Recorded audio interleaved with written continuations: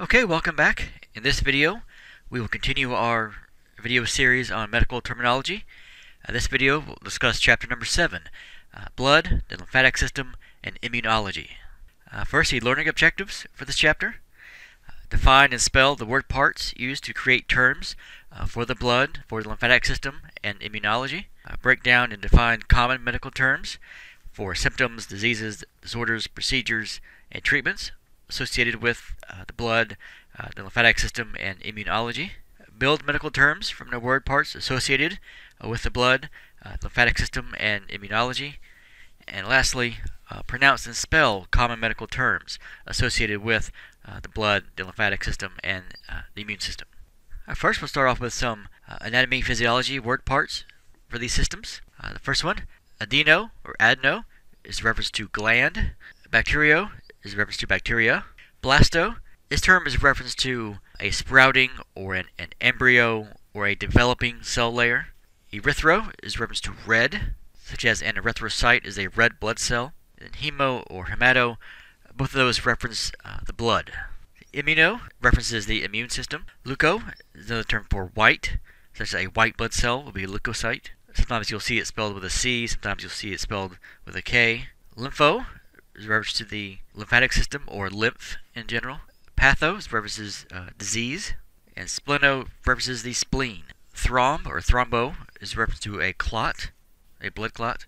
Uh, thym or thymo is reference to the thymus gland, and tox or toxo is reference to a poison. So something that is toxic is poisonous.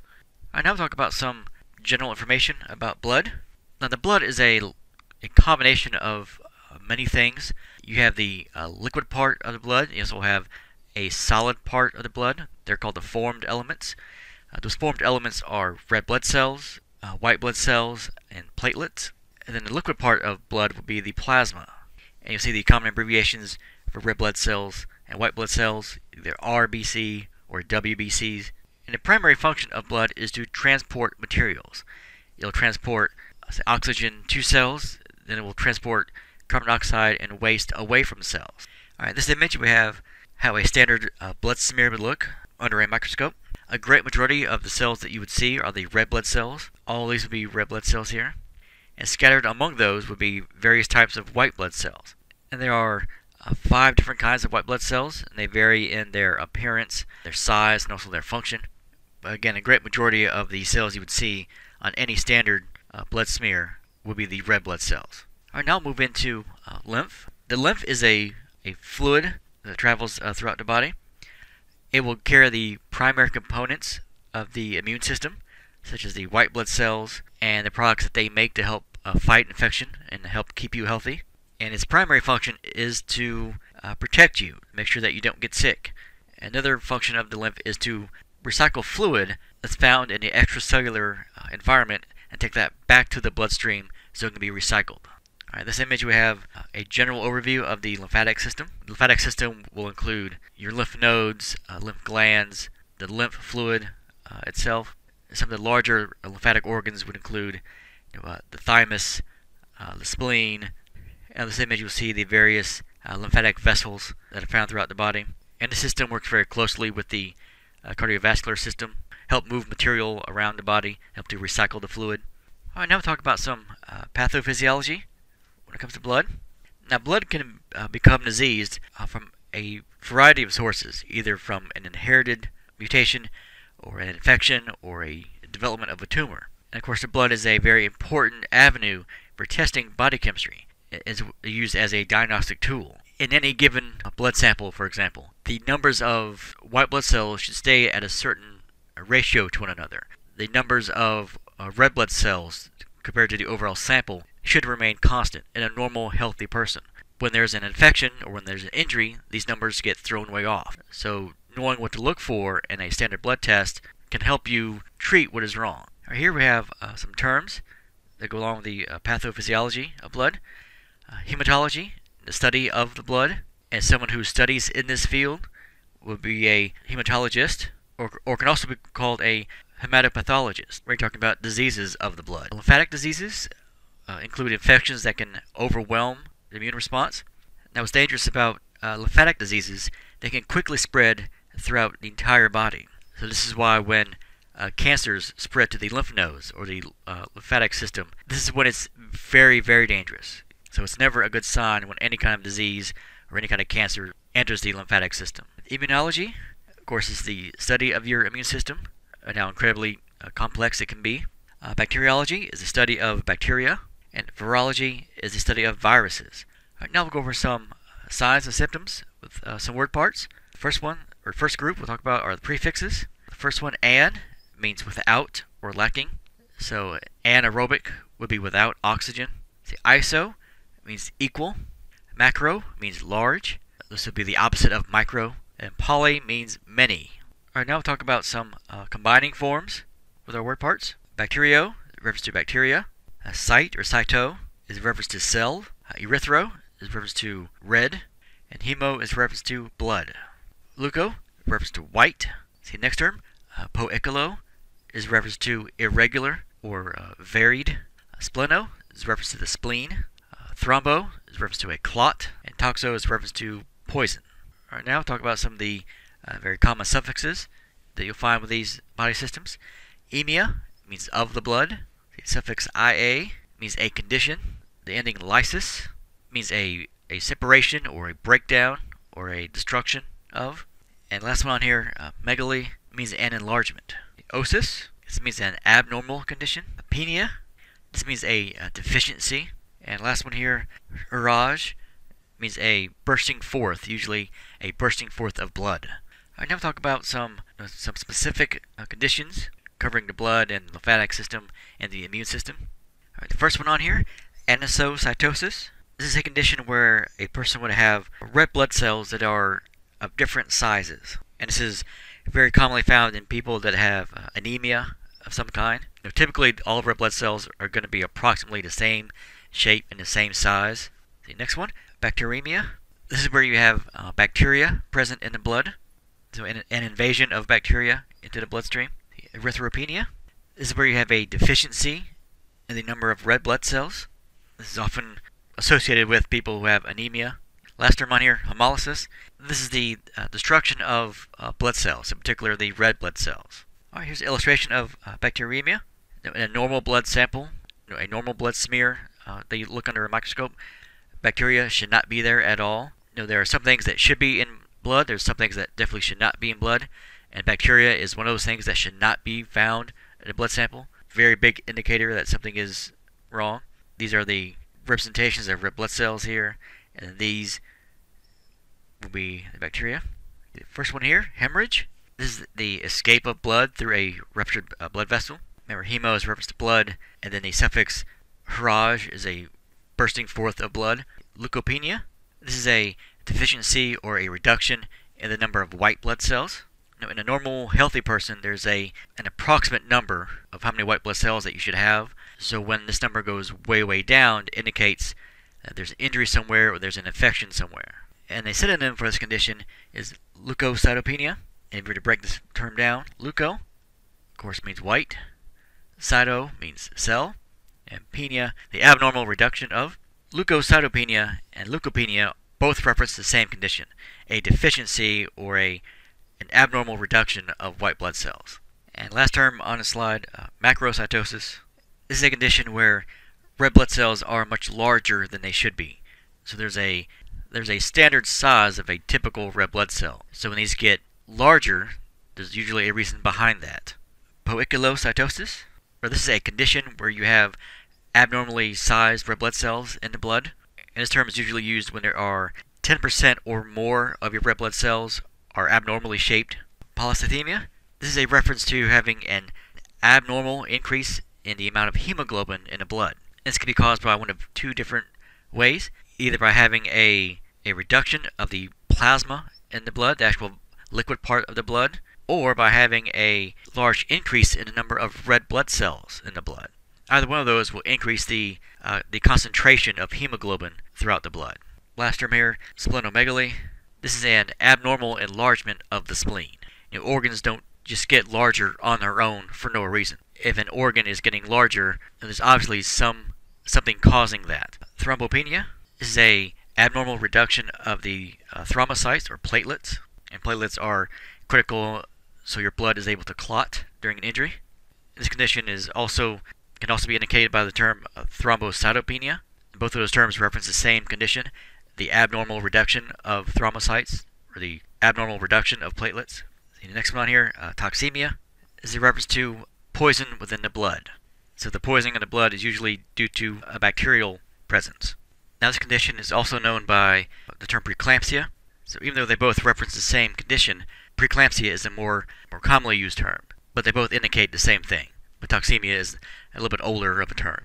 Okay, if you were to break this term down, toxo, of course, means poison, and emia means a condition of the blood, so it literally breaks down into having poison in the blood. All right, now I'll talk about some uh, diseases and disorders and word parts.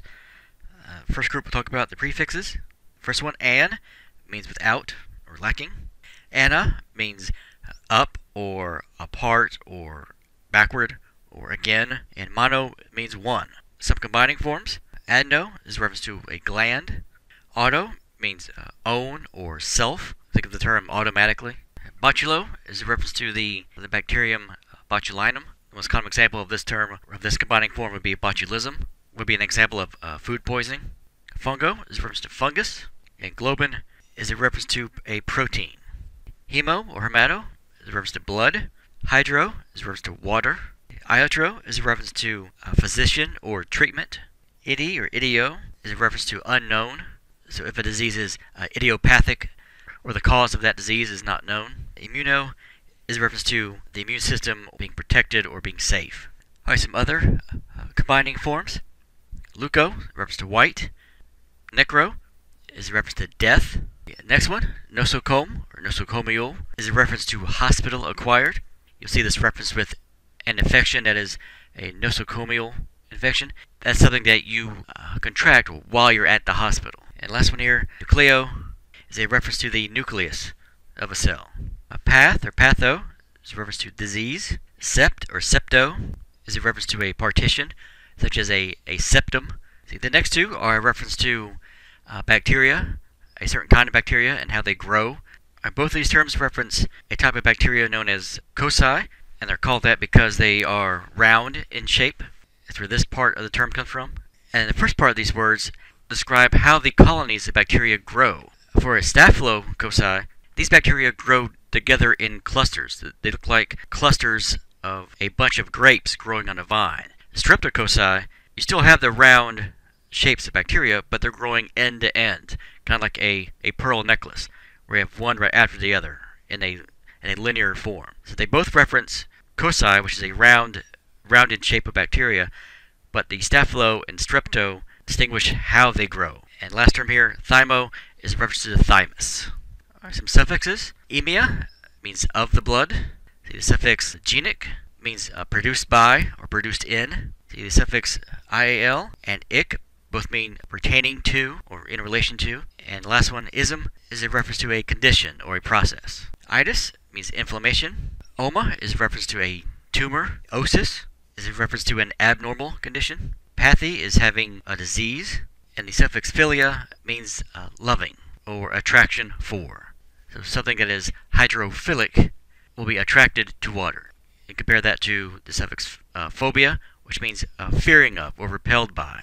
Or a substance that is hydrophobic will be afraid of water or would repel water. Uh, phylaxis means uh, protection. And the third one on here, means uh, uh, bursting forth of, of blood or pertaining to the bursting forth of blood if someone is hemorrhagic, they have the condition of having a hemorrhage, which is the bursting forth of blood. Now I'll talk about some uh, specific diseases of the of the blood, of the lymphatic system, of the immune system. AIDS, the acquired immune deficiency syndrome. This is a very serious infection where your immune system is incredibly compromised, and when your immune system isn't working, even the smallest infection can be very, very serious. It could actually even be fatal and this is caused by uh, HIV, human immunodeficiency virus. And these two are not synonymous terms, they are not the same thing. HIV is what will lead you to developing AIDS. So one is the actual virus that causes the infection, and then AIDS is the disease that could develop from that. So you could have HIV, but never ever develop AIDS. It just depends on that person's overall health. But these two are not interchangeable terms. They are obviously related, but they don't mean the same thing. The next one, allergy. This is when your body has an immune response to any number of things uh, pollen, ragweed, grass, food, dander from pets, any hypersensitivity that your body has. And the symptoms could be dry eyes to runny nose to uh, becoming very swollen if you have a very severe reaction. Allergic rhinitis is the technical term for hay fever. This is the uh, the inflammation of the nose. Is where you get the rhinitis part, and this is all caused by an allergy. So this could include having a runny nose or a stuffy nose, uh, sneezing, red or itchy, watery eyes, or swelling around the eyes. So an inflammation of the nasal passages due to an uh, allergic reaction. The allergic dermatitis is where you get an inflammation of the skin caused by an allergic reaction. This could be anything from uh, severe itching to redness or, or scaling.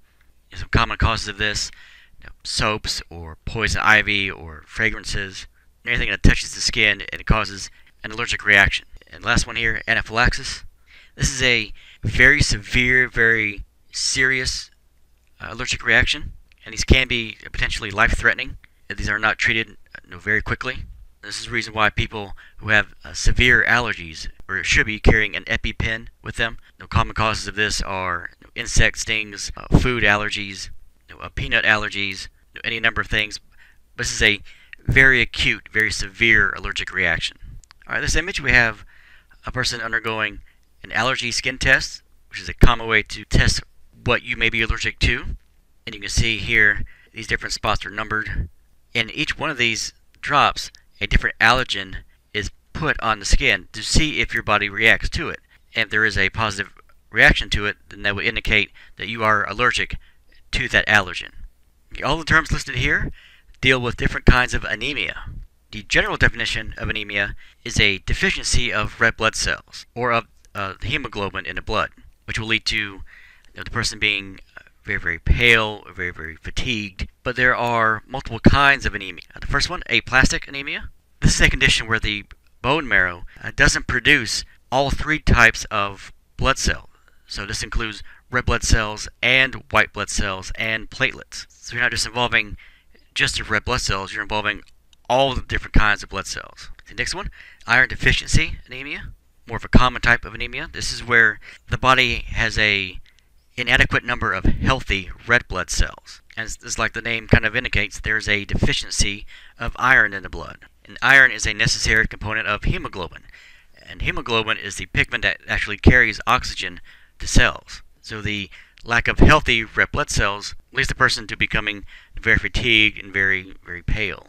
See, next one, sickle cell anemia. This is a an inherited form of anemia where the red blood cells, instead of being flat and round, have a, a sickle or a crescent shape to them, which is where the name comes from, sickle cell anemia. And whenever you distort the shape of a cell, you're going to distort its function. And the main function of red blood cells is to deliver oxygen. When you uh, distort their shape, you're going to interfere with how much oxygen it can carry. And also, these crescent-shaped cells tend to get stuck in blood vessels. And when that happens, you're decreasing blood flow you know, to the, the tissues beyond that point. So this will lead to lower levels of oxygen, which will lead to uh, the person becoming very fatigued very easily. And last one on here, a pernicious anemia. This is an autoimmune uh, condition. This is where the body can't make enough healthy red blood cells because the body can't absorb enough uh, vitamin B12. And the way you would treat this type of anemia is to make changes in your diet. We're getting a vitamin B12 supplement.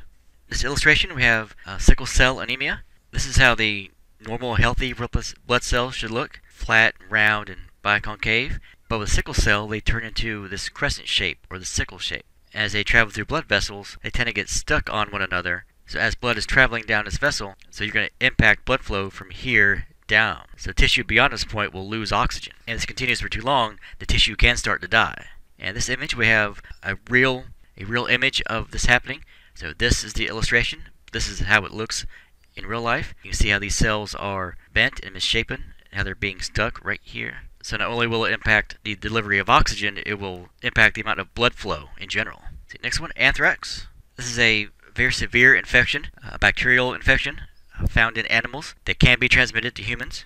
It causes ulcerations in the skin and can lead to a type of pneumonia. Autoimmune disease. This is a very generic term for any condition where your own immune system attacks your own body. So instead of fighting off foreign pathogens, it will attack your normal healthy cells because it thinks that it is something foreign. And last one here, botulism. This is a type of food poisoning that's caused by botulinum uh, bacteria. This can lead to nausea, vomiting, blurred vision, even paralysis. A communicable disease, a disease that is passed from person to person, also known as a contagious disease. Some very common examples, the cold and the flu. If the person next to you who has a cold coughs or sneezes on you, then you become sick as a contagious disease. And next one, uh, diphtheria, highly contagious uh, bacterial infection. It can lead to very severe inflammation of the mucous membranes that will lead to that will impact uh, your swallowing and your breathing, lead to nerve damage, and if not treated, can lead to potentially fatal heart damage. This illustration we have an example of diphtheria. Here we have the actual bacteria that actually cause this infection. And at first it will present as a sore throat or just difficulty swallowing, but it can become much more severe pretty rapidly. And one of the giveaways is this white coating here and here. This is usually a good indicator that diphtheria is present. next one, dyscrasia. Now the general definition would be a an abnormal or a disordered state of the body. So when you're talking about blood dyscrasia, you're mostly talking about an imbalance of the the elements of the blood. In a normal healthy person, there's a range of how many red blood cells there should be, or how many white blood cells there should be, and how many different of each kind of white blood cells there should be. When its ratios are thrown off, that means something is going on. There's an infection or an injury somewhere. So this is a pathologic uh, condition of the blood. Edema is another word for swelling. The last one on here, fungemia, is the presence of fungi in the blood or yeast in the blood. Another term used for this condition is fungal septicemia, a systemic infection of the blood caused by a fungus. Image, we have an example of edema. You can clearly tell this person's right leg is much larger than his left leg. All this swelling will be classified as edema. When you have that much fluid, you're going to have a lot more pressure on the blood vessels, a lot more pain is induced.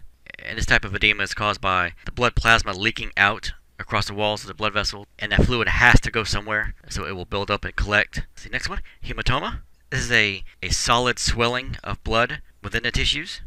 Now, depending on where exactly it is, will determine its name. So, hematoma is a very so it is a general term that references any uh, swelling of clotted blood within the tissues. The next one, hemoglobinopathy. This is a inherited condition where there's a an abnormal structure in the hemoglobin of the blood. So this will impact the, the function of the red blood cell, which will lead to a decrease in the levels of oxygen that are able to be delivered to tissues. And last one on here, uh, hemophilia, another inherited condition where the blood doesn't clot as well as it should. Sometimes these are called uh, free bleeders. People who have hemophilia, there's a lack of what are called uh, clotting factors that will slow down the process of clotting. The ability to clot is still there, but is severely reduced. So it takes a lot longer for this uh, to happen. In this image, we have an example of a hematoma. You see this person has a black eye, and what causes that, you know, the swelling and the discoloration, is blood underneath the skin here. Hemorrhagic fever. This is a, a broad term that covers a series of diseases that will lead to uh, fever and chill, malaise. If not treated quickly, it can lead to kidney failure and eventually become fatal.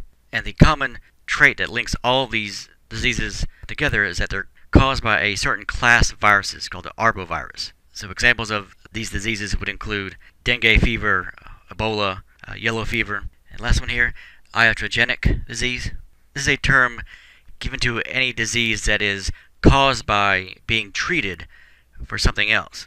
sometimes this could be because of a an incorrect uh, dosage of medication. You're having a a reaction to antibiotics or certain dyes for certain procedures. Having organ damage due to some uh, the medications that you're taking. Liver damage is not uncommon. Kidney damage is not uncommon for certain medications. So all of those are directly caused by treatment by a physician. So that'd be a fall under this category of disease. Uh, idiopathic disease. This is any disease that has unknown cause. can't say it's viral or bacterial or fungal, or you can't pinpoint one particular causative agent. So when you don't know what causes it is it as idiopathic. Immunodeficiency, also known as immunocompromised, this is where your immune system becomes weakened. When your immune system is compromised or weakened, it can't function as properly as it should, which means you will get sicker faster and for longer periods of time. And last one here, immunosuppression. This is either the partial or the complete suppression of the immune system. This is usually used when you're talking about someone receiving an organ transplant. Now, this can be uh, induced by some drugs, uh, such as chemotherapy drugs. If you were getting ready for a bone marrow transplant or an organ transplant, you want to kind of dial down the responsiveness of your immune system. But immunosuppression can also be caused by diseases such as uh, lymphomas or AIDS, for example. See, our next term, incompatibility. This is when things don't match together properly. You'll see this term used when or someone wants to donate an organ. If the tissues tissue types don't match correctly, then they are considered to be incompatible. The infection. This is the, the presence and the invasion of a microorganism, such as a, a virus or a bacteria. And the last one here, inflammation. This is a physical condition where a localized part of the body will become red or hot or swollen or painful. It's usually caused by an injury or an infection of some kind. The influenza, that is the full name for the flu, very, very common viral infection. Leukemia is a progressive disease where the bone marrow will continue to make a higher number of immature or non-functioning blood cells, in particular white blood cells. And when this happens, you get the you are suppressing the production of regular healthy white blood cells. This is a general term for a cancer of the uh, blood forming tissues like the bone marrow. The lymphadenitis this is an inflammation of the lymph nodes. It's often caused by a, a bacterial infection. Alright, in this illustration we have a comparison of normal blood versus blood with leukemia. In the circle on the left here, you have an example of how a normal uh, blood sample would look. Most of the cells you would see are red blood cells. You would have a variety of different white blood cells scattered throughout. And there's a, a legend what all the images are here at the bottom. But when you have leukemia, you have a, a high number of white blood cells that are made, but they're immature and non-functioning. So you will see a much higher proportion or much higher rate of white blood cells. So instead of seeing you know just a few kind of scattered around in any given sample, you will see a lot of white blood cells. So a lot more than there should ever be. So this higher number of immature white blood cells uh, greatly suppresses the production of normal, functional, healthy white blood cells. The next disease we'll cover is lymphoma. Now lymphoma is a general term that applies for uh, cancers of the lymph nodes. And this is not just one disease. This is a, a collection of diseases that fall under the, the general term of lymphoma. And lymphomas will fall into one of two broad categories. They'll either be Hodgkin's lymphoma or non-Hodgkin's lymphoma. Now both of these involve you know, cancers of the lymphocytes, which is a type of white blood cell. And non-Hodgkin's lymphomas are much more common compared to Hodgkin's lymphomas. And the way you can tell which type a cancer falls into is only done by looking at a sample of the blood under a microscope. If there's a certain type of abnormal cell present, then it's classified as Hodgkin's lymphoma. If this type of abnormal cell is not present, it would be considered non-Hodgkin's lymphoma. But both of these are examples of cancers of the lymphocytes. And there are a large number of diseases, especially in a non-Hodgkin's class. depending on what type of cancer it is specifically, will determine what kind of treatment that you need. Malaria, this is a blood disease that is caused by the bite of a mosquito, but it's not the mosquito bite that is making you sick. There is a a protozoan found inside that mosquito called Plasmodium. And it's that introduction of that protozoan is what making you sick. So it's not the bite itself. And this can also be passed on from uh, a pregnant mother onto the child with the exchange of blood between mother and child. See, next term, measles. This is an infectious viral disease as indicated by a very itchy rash on the skin, uh, also a fever. It's common in childhood.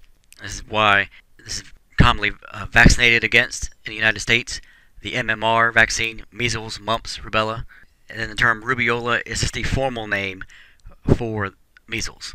Now, thanks to the the increase in vaccinations against measles, this is nowhere near as common as it used to be, because this can be a very serious disease if not treated properly. And last disease on here, mononucleosis. This is a viral disease that is most commonly known by uh, the phrase the kissing disease. And it's called that because the virus that causes this can be passed from person to person uh, through saliva what's happening here is there's an abnormally high proportion of monocytes in the blood. And monocytes are, be, are a certain type of white blood cell. In this picture, we have a child with measles, and the very indicative reddish skin rash all over the body. All right, this illustration, we have mononucleosis. It's caused by the Epstein-Barr virus. It's going to lead to fatigue and high fever. And a good indicator of mono are the, the swollen tonsils here. And here you have a example of what the blood smear would look like. You know, abnormally high number of uh, monocytes in the sample. The uh, necrosis or necrotic. This is a into the uh, the death of most or all of the cells of a organ or of a of a tissue due to disease, lack of blood, or injury. And the term necrotic is just a, a synonym for necrosis. They both reference the same condition, death of an organ due to lack of blood or injury or disease. Nosocomial infection, uh, we mentioned this earlier in the video. This is an infection that you contract while at a hospital. So something that you didn't have before you got there. A plague. This is a very contagious uh, bacterial disease. There are multiple forms of the plague. It's not just one kind. But you can have a bubonic plague or pneumonic plague or septicemic plague. All those have different areas of the body that they uh, impact. But they're all caused by a bacterial source. Uh, rabies is a contagious disease that is often passed from mammals such as you know, foxes or raccoons or dogs, uh, transmitted to humans through a bite. Now, if not treated, this will become deadly. There's only one known case as of this video where someone contracted rabies, it was confirmed that it was rabies, and the person survived. So this is why if you are ever bitten by an animal that you don't know, go to the doctor and get treatment for rabies just as a precaution. Now, the good news is the symptoms don't present themselves for about two to three weeks. But the problem is, once they do, once you are symptomatic, there is no way to fix it. So you have a, a good amount of time to get treatment for it. But this is something that you definitely don't want to waste time on. So, other than that one person that we know of, if you show signs of being symptomatic for rabies, you know, this will become fatal. This will cause uh, convulsions and will cause madness. It will induce hydrophobia, being afraid of water, you know, the foaming at the mouth.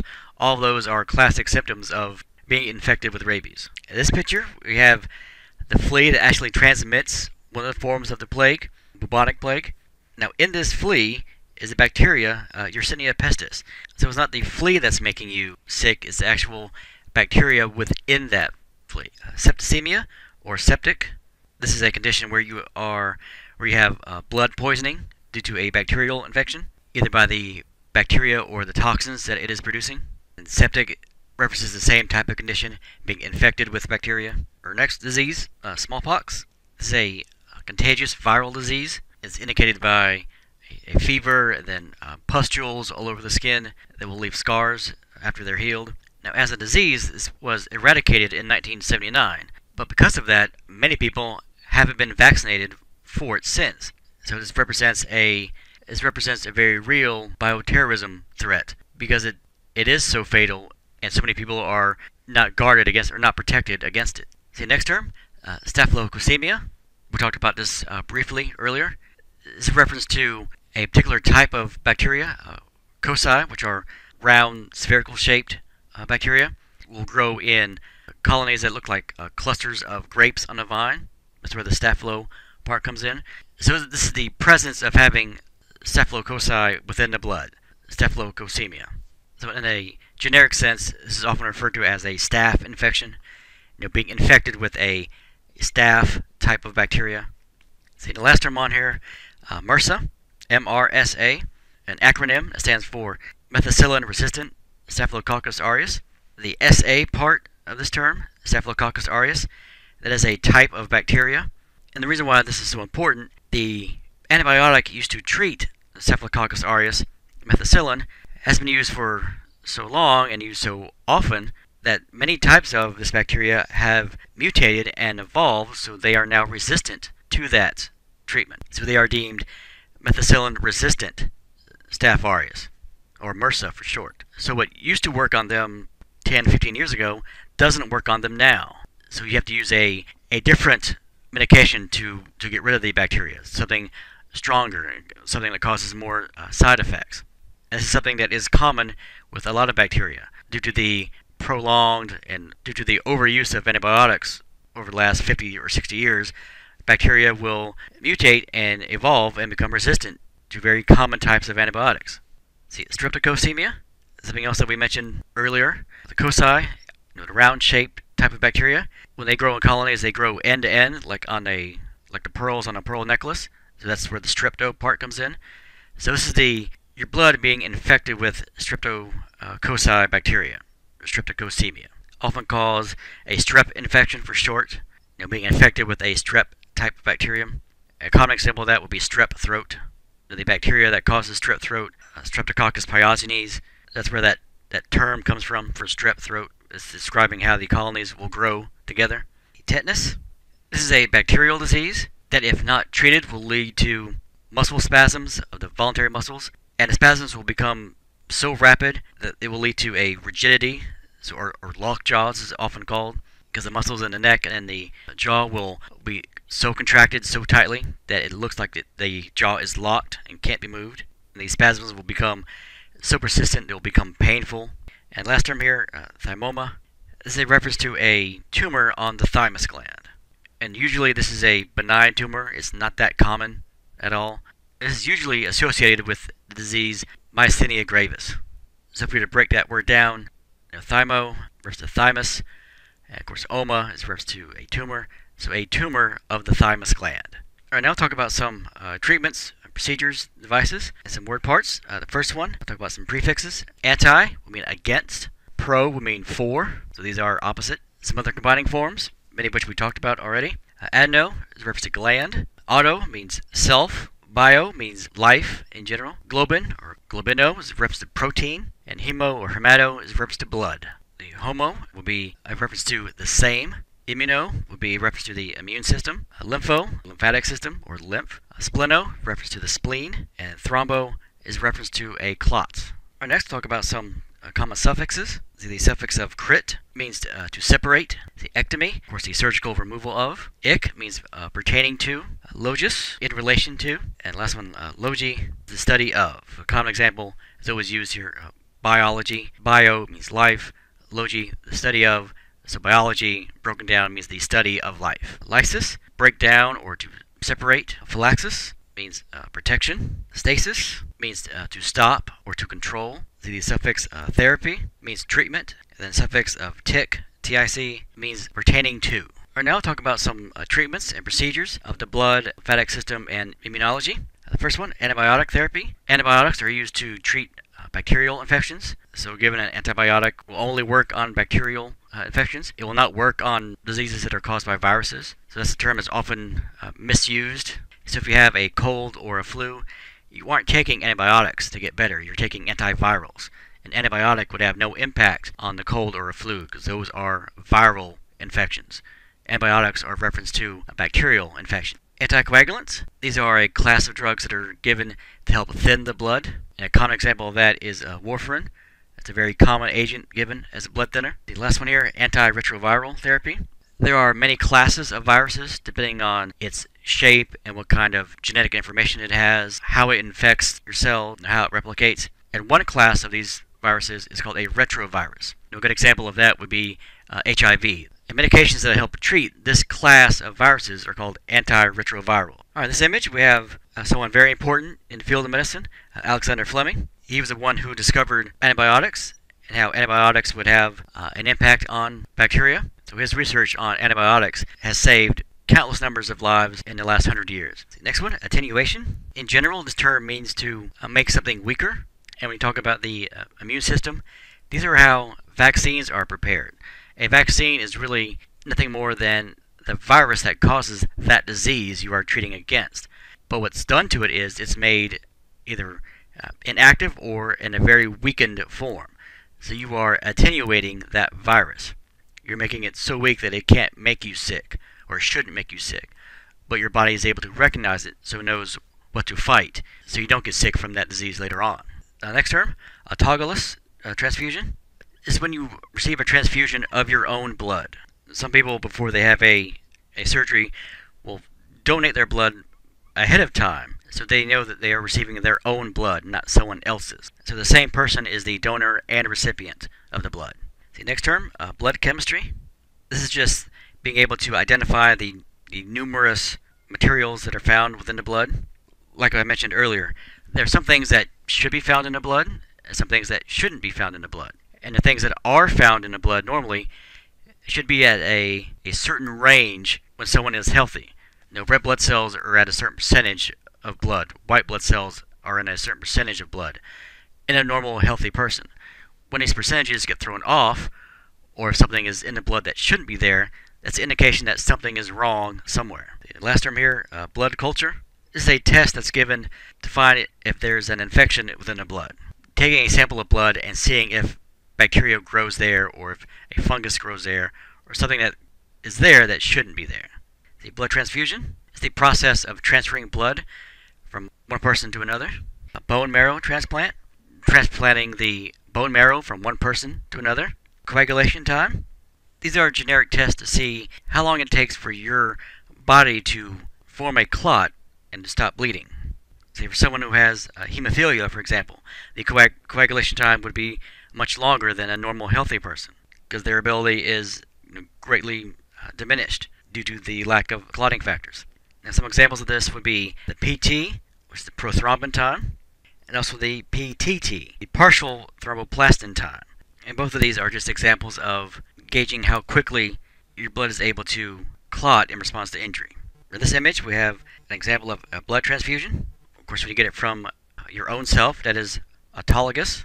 If you get blood from someone else, that is a homologous transfusion. All right, this image we have a bone marrow transplant. The way it typically works, a sample of the red bone marrow is taken from the pelvis of the donor, and then is introduced into the recipient's red bone marrow. All right, the next one, a complete blood count, or CBC. Is used to gauge your overall health, and what this does is it checks for the the quality and the number of white blood cells or red blood cells, and also platelets. So it's just like the name you know, implies, it's a complete blood count. How many red blood cells are there? Are they healthy? How many white blood cells are there? Are they healthy? How many platelets? Are they healthy? Hematocrit. This is a blood test that checks for the, the ratio of the volume of the red blood cells to that of the total blood volume. So normally red blood cells should be about 45% of the blood. When that number goes uh, higher or lower, that indicates something is wrong. Uh, hemoglobin, that is a, a special pigment that's found in red blood cells. It's what enables the red blood cells to carry oxygen to the various cells in the body. Red blood count is the actual number of the red blood cells. So a white blood count would be the number of white blood cells. Again, there are multiple kinds of white blood cells, and they should be found in a certain ratio to one another. And that ratio gets thrown off to indicate uh, something's wrong. And platelet count, just like the other two, is the counting of the actual number of platelets that are found in the blood. Our next term, uh, hemostasis is a process of stopping bleeding. Hemos refers to blood. Stasis means uh, stopping. So the overall process of your body reacting to an injury and stopping the bleeding naturally through a blood clot. A homologous transfusion is someone receiving blood from someone else. So it's the same species. This is still another person, but it's a different individual. So that's why it's uh, homologous. Immunization, uh, being vaccinated for diseases. And then immunology is the study of the immune system immunotherapy. This is the treatment of disease by giving uh, substances that will stimulate your immune response. So basically, uh, making it work faster than it normally would, making it work uh, harder than it normally would, in order to combat a, a disease. Lymphadenectomy, also known as a lymph node dissection, is where you have the surgical removal of a lymph node. Last term on here, uh, prophylaxis. This is action or uh, medication that's taken to prevent a disease. So if you know you're traveling to an area of the world that has a higher rate of malaria, for example, you take medications before you leave, before you get there. That's a, that's a prophylactic procedure. You're taking medicine in advance of being exposed to a, a condition or a disease. All right, now we'll talk about some common abbreviations that you'll see regarding the, uh, the blood or the lymphatic system or the immune system. Uh, the first one, AIDS acquired immunodeficiency syndrome, uh, CBC, complete blood count, HCT, uh, hematocrit, that's the abbreviation for the blood test hematocrit, HGB, uh, hemoglobin, Both of those refer to hemoglobin. Uh, HIV, human immunodeficiency virus, is the virus that will lead to the disease AIDS. MRSA, methicillin-resistant uh, Staphylococcus aureus, basically the bacterium uh, Staph aureus that has mutated to the point where it's now resistant to the common antibiotic treatment of methicillin. A PLT, a platelet count. PT, prothrombin time. A PTT, also related to prothrombin time, the partial thromboplastin time. Both of those are reference to a coagulation time test. RBC, red blood cells. WBC, white blood cells. All right, we will end this chapter with our, our normal uh, combining form quiz. Uh, terms on the left. Uh, hemo, leuco, adeno, septo, mucosimo. They'll match up either with gland, uh, putrefying, white, hospital, or blood. So hemo, we'll go with blood. Leuco goes with white. Adeno goes with gland. Septo with putrefying. And mucosimo goes with hospital. And here are all the terms with their correct matching definitions. And that brings us to the end of chapter number 7 on the blood and lymphatic system and the immune system. We will continue our series on medical terminology with our next video on chapter number 8.